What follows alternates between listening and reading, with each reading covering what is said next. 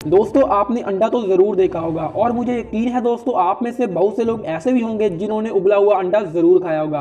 और दोस्तों, अगर आपने उबला हुआ अंडा खाया है तो शायद दोस्तों आपके दिमाग में ये प्रश्न भी आया होगा कि दोस्तों, एक ट्रांसपेरेंट लिक्विड, एक एग व्हाइट में कैसे कन्वर्ट होता है? एक पारदर्शी तल पदार्थ, एक अपारदर्शी सफ़ेद रंग के पदार्थ में कैसे कन्वर्ट होता है?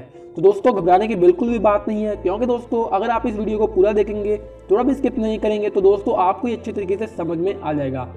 तो दोस्तों, अंडे के ट्रांसपेरेंट लिक्विड में 10 परसेंट प्रोटीन होता है और जो 90 परसेंट होता है, वो इसमें वाटर होता है। और दोस्तों, जब इस अंडे को गर्म किया जाता है तो दोस्तों, इसका प्रोटीन भी गर्म होने लगता है, जिससे ये अंडा सख्त हो जाता है। मतलब दोस्तों, अंडे में मौजूद यही 10 परसेंट प्रोटीन है जो इस अंडे को सख्त बनाता है। और दोस्तों, जो ये अंडे में मौजूद प्रोटीन होता है, इसमें अमाइनो एसिड्स की लंबी लंबी चेन्स होती हैं। और साथ में दोस्तों, जो कच्चे अंडे का जो प्रोटीन होता है वो चिल्ले जैसा होता है और इसी के साथ में दोस्तों इसका आकार कम्पैक्ट बॉल जैसा होता है। और दोस्तों जो अमाइनो एसिड का कमज़ोर बंधन होता है, वो इस प्रोटीन को इस आकार में तब तक के बांधे रखता है जब तक के दोस्तों इस प्रोटीन को गर्म ना किया जाए। और दोस्तों, जब इस प्रोटीन को गर्म किया जाता है, तब ये बंधन टूटने लगता है और प्रोटीन खुल जाता है। और फिर इसका अमाइनो एसिड दूसरे प्रोटीन के खुलने से बने अमाइनो एसिड के साथ एक और नया कमज़ोर बंधन बनाता है।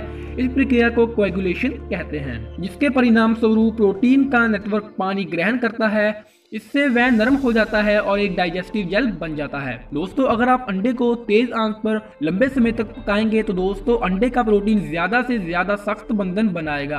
और अगर दोस्तों प्रोटीन नेटवर्क से आप पानी को निचोड़ देंगे, निकाल देंगे तो दोस्तों, अंडे की जो सफेदी है, वो रबड़ जैसी बन जाएगी। और दोस्तों, अगर आप अंडे को बहुत ज़्यादा देर तक पकाएँगे तो दोस्तों, अंडे की जो जर्दी होती है, उसके बाहर एक हरे सलेटी रंग का छल्ला बन जाएगा। और दोस्तों, ये छल्ला सल्फ़र और आयरन के रासायनिक प्रतिक्रिया, यानी केमिकल रिएक्शन के कारण बनता है, जिसके कारण फेरस सल्फेट बनता है और दोस्तों ये ज़्यादा पकाने के फलस्वरूप होता है।